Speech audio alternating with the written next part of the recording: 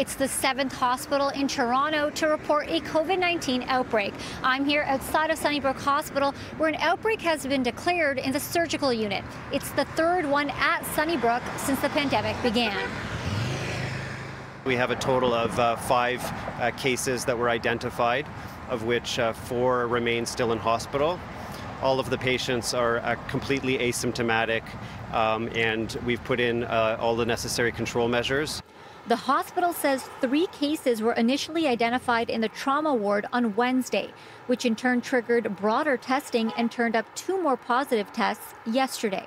We have um, a lot of uh, surveillance in place uh, where we uh, screen patients when they come into hospital. Uh, we do a lot of testing.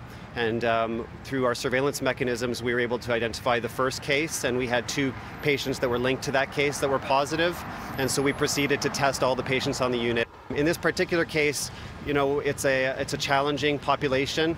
Uh, you know, mainly uh, patients that are uh, uh 40 and younger, and uh, they really have no symptoms whatsoever. The C5 unit where the outbreak occurred is currently closed to new patients. The hospital says there has been no transmission to other patient care areas or any healthcare workers.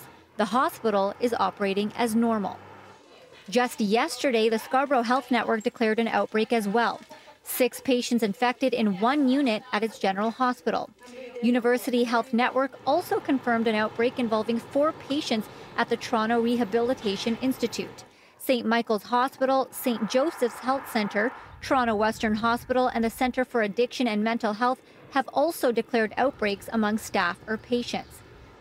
Sunnybrook Hospital says they have the best measures in place in terms of preventing the transmission of COVID 19, and they are doing the best they can, given how challenging the second wave is proving to be. We don't have the luxury, if you will, of, of reducing our services, and we have less capacity than we did. On top of that, we're about to go into uh, full blown respiratory season where we'll have other viruses circulating, and that will pose additional challenges for us. An outbreak is declared in a healthcare setting when at least two cases of COVID 19 have been detected within 14 days. The hospital does say they are doing enhanced cleaning as well as screening and testing staff more frequently. The outbreak won't be declared over until a full incubation period occurs without further transmission. That could be anywhere between 1 to 14 days.